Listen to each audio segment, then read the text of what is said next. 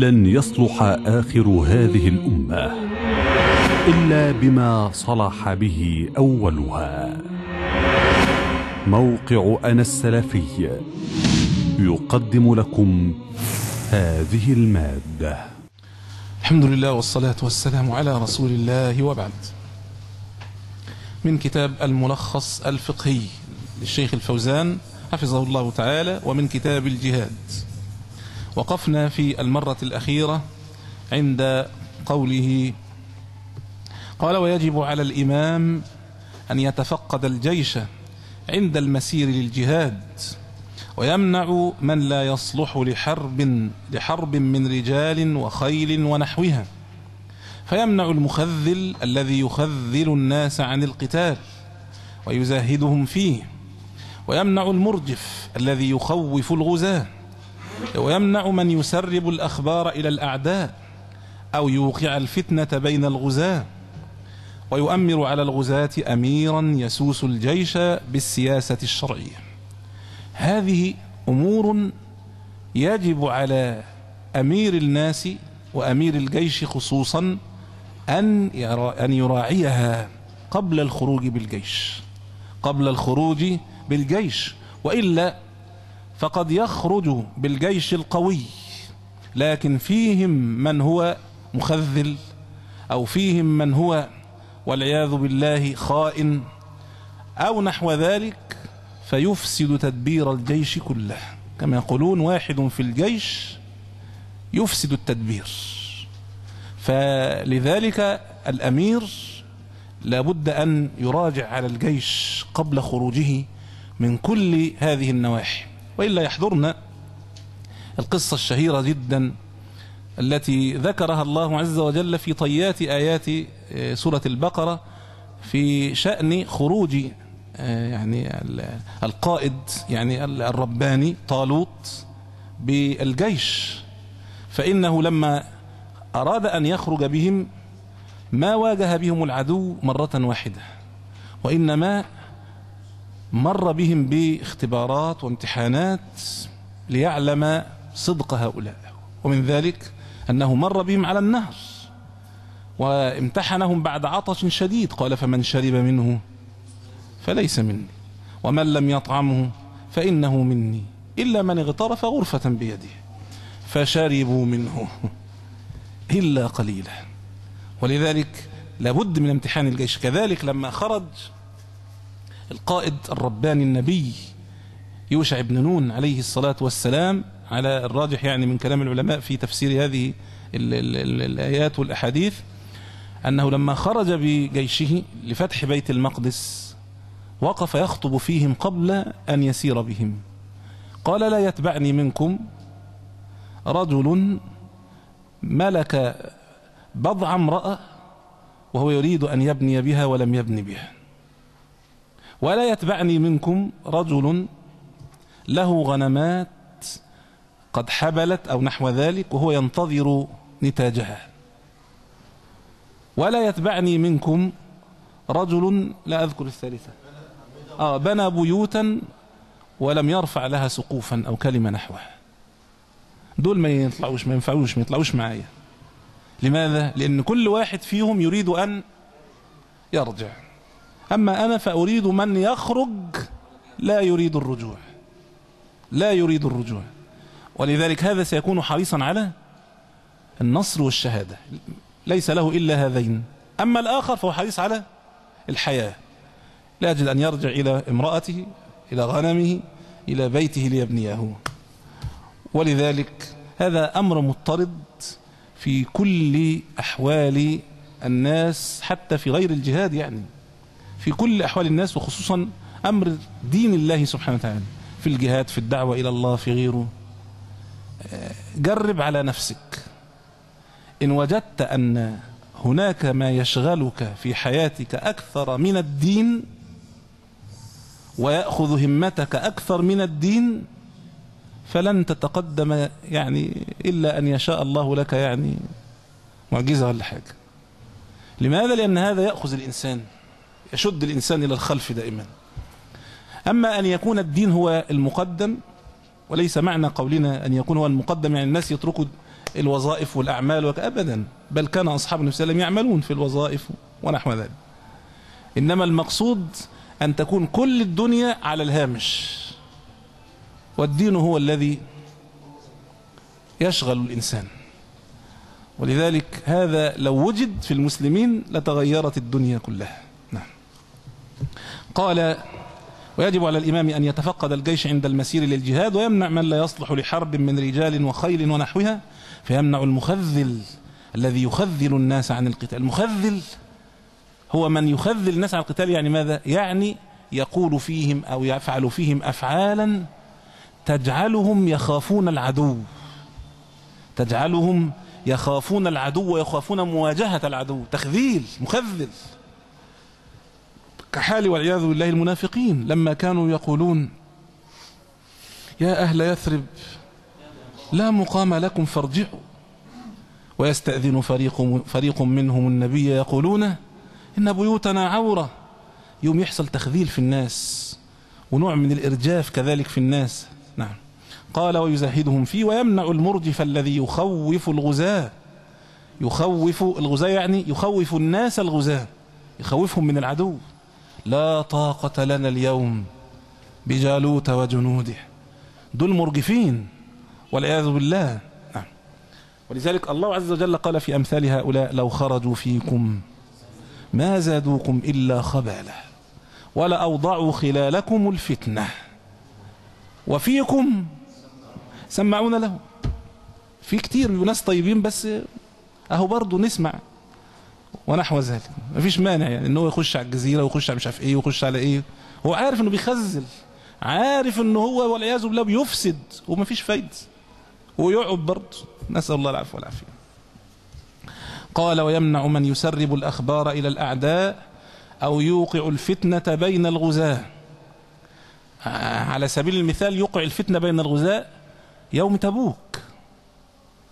المنافقون كادوا أن يفسدوا الجيش بالفتنة التي أحدثوها. بالفتنة التي أحدثوها. ولا سيما لما توعد بعضهم النبي صلى الله عليه وسلم وقال لئن رجعنا إلى المدينة ليخرجن الأعز منها الأزل. فخاف النبي صلى الله عليه وسلم من ذلك فماذا فعل النبي صلى الله عليه وسلم؟ قائد حكيم. فجد في السير يوما وليلة. جد في السير يوما وليلة. العادة إنه الجيش يسير بالليل وينزل بالنهار.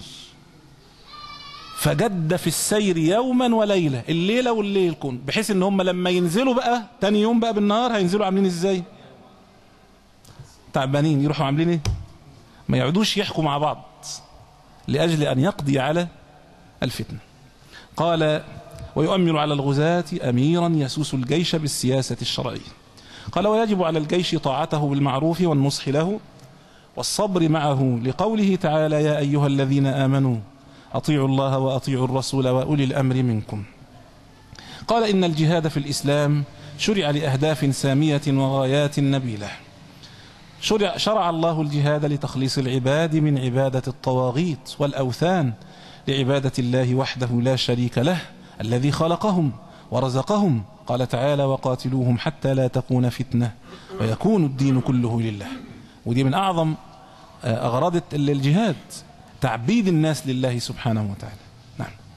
شرع, شرع الله الجهاد لإزالة الظلم وإعادة الحقوق إلى مستحقها.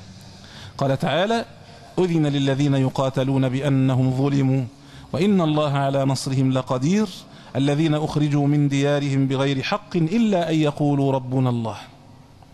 شرع الجهاد لإذلال الكفار. والانتقام منهم وإضعاف شوكتهم. قال الله تعالى قاتلوهم يعذبهم الله بأيديكم ويخزيهم وينصركم عليهم ويشفي صدور قوم مؤمنين ويذهب غيظ قلوبهم ويتوب الله على من يشاء والله عليم حكيم. قال والقتال إنما يكون بعد تبليغ الدعوة. كما كان الرسول صلى الله عليه وسلم يدعو الناس قبل القتال إلى الإسلام ويكاتب الملوك بذلك. ويوصي قواد الجيوش الإسلامية بدعوة الناس إلى الإسلام قبل قتالهم. فإن استجابوا وإلا قاتلوهم. وذلك لأن الغرض من القتال في الإسلام هو إزالة الكفر والشرك والدخول في دين الله. فإذا حصل ذلك بدون قتال لم يحتج إلى القتال. والله أعلم. مسألة مهمة وهي لا بد قبل قتال غير المسلمين إعلامهم بالإسلام. شرط في القتال شرط في الإسلام شرط في القتال أن يعلموا بالإسلام. كما قال الله عز وجل حتى يسمع كلام الله.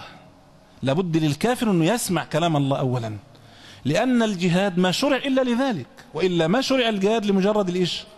القتل والغنيمة ونحو ذلك إنما شرع لتعبيد الناس لله. ولذلك إذا خرج المسلمون للكفار في أي مكان قالوا لهم إن جئناكم ندعوكم إلى الله ويبلغونهم الدين والتوحيد ويرفعون عنهم الشبهات وكذا وكل ذلك. قد يقول قائل كيف فهذا يعطي الكفار فرصة لأجل أن يستعدوا لقتال المسلمين. فهل هذا معناه أن يقاتل المسلمون بغير إذن؟ لا بغير إذن دعوة يعني؟ لا. لماذا؟ لأنهم لو قاتلوهم على هذا الحال فقتلوهم فإنهم لا يكونون قد قاموا عليهم الإيش؟ الحجة والله عز وجل يقول وما كنا معذبين حتى نبعث رسوله. ولذلك النبي صلى الله عليه وسلم كان يقول لقائده انفذ على رسلك. فإذا نزلت بساحتهم فأعلمهم أن الله فادعوهم إلى الإسلام. فإذا نزلت بساحتهم فادعوهم إلى الإسلام. فإن قبلوا وإلا فقاتلهم أو كما قال النبي صلى الله عليه وسلم. بل العلماء يتكلمون في من دعي للإسلام. هل يجوز دعوته مرة أخرى؟ من حيث المشروعية؟ نعم. وأما الوجوب فلا. وإنما هذا مشروع وهو يرجع إلى القائد. فإن شاء دعاهم مرة أخرى وإن شاء ترك. وقد فعل النبي صلى الله عليه وسلم الأمرين. فإنه أغار على بني ضرار صبحا وكثير من العرب أغار عليهم النبي صلى الله عليه وسلم وهم في غفلة وذلك أنه كان قد دعاهم قبل ذلك فعاندوا. وأعاد الدعوة لليهود يهود خيبر. أعاد لهم ماذا؟ الدعوة فإنه دعاهم أول ما دخل المدينة. ومع ذلك لما ذهب لفتح خيبر قال لعلي بن أبي طالب فإذا نزلت بساحتهم فادعهم إلى الإسلام أو كلمة نحوه نعم. قال وللجهاد أحكام مفصلة موجودة في الكتب المطولة. وإذا قال وإذا كان أبواه مسلمين حرين أو أحدهما لم يجاهد تطوعا إلا بإذنهما لقوله صلى الله عليه وسلم ففيهما فجاهد صححه الترمذي. وذلك لأن برهما فرض عين والجهاد فرض كفاية وفرض العين مقدم على فرض الكفاية. هذه مسألة وهي إذن الوالدين. من شروط الجهاد أي جهاد الغزو والطلب إذن الوالدين لمن كان له والدين. لمن كان له والدان. لا بد من إذنهما. أو كان له والد لا بد من إذنه. فهذا واجب لأن النبي صلى الله عليه وسلم لما سأل الرجل عن هل له والدان قال نعم قال ففيهما فجاهد لأن هذا جهاد طلب فيشترط فيه إذن الوالدين. ولا يعتبر إذن الوالدين الكفرة لا يعتبر. يعني الوالد الكافر لا يعتبر إذنه لا في جهاد الطلب ولا في جهاد الإيش؟ الدفع. وإذن الوالدين المسلمين يكون لمن خرج في جهاد الطلب إلى أن يواجه العدو. فإذا واجه العدو سقط إذنهما. يعني يجوز للوالدين أن يرجع في إذنهما ما لم يواجه العدو. يعني لو هو لسه في الطريق ممكن يبعثوا يقولوا إحنا عايزين فلان يرجع. فعليه أن يرجع. أما إذا حصلت المواجهة فلا يجوز. لقول الله تعالى إذا لقيتم الذين كفروا فلا تولوهم الأدبار. زحفا فلا تولوهم الأدبار. أي نعم. قال وعلى إمام المسلمين أن يتفقد الجيش عند المسير ويمنع من لا يصلح. إذا ذكر هذه العبارة في الحقيقة يعني كأنها معادة يعني. قال وعلى الإمام أن يعين القادة للجيوش. وينفل من الغنيمة من في تنفيله مصلحة للجهاد ويقسم بقية الغنائم في الجيش كله. على الإمام أن يعين القادة للجيوش وينفل من الغنيمة من في تنفيله مصلحة للجهاد. النفل في الغنيمة هذا فرع داخل في أحكام الغنيمة أو أحكام الغنائم. والغنائم هي الأموال التي يغنمها المسلمون من الكفار في الحرب. أو لو كانت في غير حرب تسمى فيئا تسمى فيئا كما كان يوم بني النضير. أما قتال المسلمين لمسلمين كقتال المسلمين للبغاة المسلمين فليس فيه غنيمة فليس فيه غنيمة. ولذلك لو تذكرون امبارح وإحنا بنتحدث عن الخوارج إن هم مش عاجبهم إن علي لم يسبي ولم يغنم. لماذا؟ لأن هم بيروا إن دول كفار خلاص. يعني هم شايفين إن أي حد يقتلوا المسلمين يبقى ده إيه؟ كافر. ابدا. ليس بالضرورة يكون كافرا. وإلا فالله تعالى قال وإن طائفتان من المؤمنين اقتتلوا فوارد أن يكون الفريقين المقتتلين مسلمين. ولذلك هذا يسمى قتال بغاة وليس قتال إيش؟ كفار. نعم. قال وينقل من ينفل من الغنيمة من في تنفيله مصلحة للجهاد. النفل في اللغة الزيادة. النفل في اللغة الزيادة. والمقصود به هنا أن قائد الجيش عندما يجمع الغنيمة وقبل أن يقسمها بين الغانمين له أن ينفل من شاء زيادة. يعني يعطي من شاء شيئا زائدا إذا كان فيه مصلحة. وإلا فالنبي صلى الله عليه وسلم كما روى الإمام مسلم وأيضا الإمام أحمد أن النبي صلى الله عليه وسلم جمع لسلمة بن الأكوع جمع لسلمة بن الأكوع رضي الله عنه في بعض مغازيه بين سهم الراجل والفارس. جمع له بين سهم الراجل والفارس. الراجل له في الغنيمة قسم معين وفي والفارس له قسم. الراجل يعني المقصود اللي بيمشي يعني المشاة المشاة اللي هو معهوش فرس. فهذا يسمى راجل. والفارس له زيادة. الفارس له ثلاث أسهم. سهمين للفرس وسهم له هو. لأن الفرس ده عبارة عن دبابة طيارة على حسابه هو جايبها. فهذا يعطى زيادة عن الإيش؟ الراجل. فالنبي صلى الله عليه وسلم جمع لسلمة بين سهم الفارس والإيه والر... مع إنه ما كانش فارس. لكنه كان فارس إيه؟ فارس في الحقيقة وإن لم يكن معه فرس. لأنه سلمة كان بيسبق الف... الإيه كان بيسبق الخيول أصلا. يطلع يجري يسبق الخيول ويجيب الفارس اللي على الخيل و... ويقتله. فأعطاه وسلم زاده عن سائر الناس فأعطاه سهم الراجل والفارس. أعطاه خمسة أسهم. أعطاه خمسة أسهم. يعني الغنائم وهي بتتقسم بتتقسم بالأسهم. أعطاه خمسة أسهم. الراجل بيبقى له سهمين والفارس له ثلاث أسهم. هو أعطاه خمسة أسهم النبي صلى الله عليه وسلم. قال ويقسم بقية الغنائم في الجيش كله. هيأتي معنا كيفية قسم الغنائم. ويلزم الجيش طاعة أميرهم بالمعروف والنصح له والصبر معه لقوله تعالى يا أيها الذين آمنوا أطيعوا الله وأطيعوا الرسول وأولي الأمر منكم. كأنها عبارة أيضا معاته ولا يجوز قتل صبي ولا امرأة ولا راهب وشيخ فان يعني شيخ كبير في السن يعني ومريض مزمن وأعمى لا رأي لهم. مهمة جدا كلمة لا رأي لهم دي. وإلا لو كان أعمى أو مريض أو امرأة يقتل إن كان له رأي يعني مستشار عسكري. لو كان حتى مسن كبير لو كان حتى امرأة يقتل لأنه ده رأه رأي في الإيش؟ في الحرب. أما الذي لا بدا بلا شك طبعا. أما الذي هو بهذه الأوصاف صبي امرأة راهب شيخ فالمقصود بهؤلاء الذين إيش؟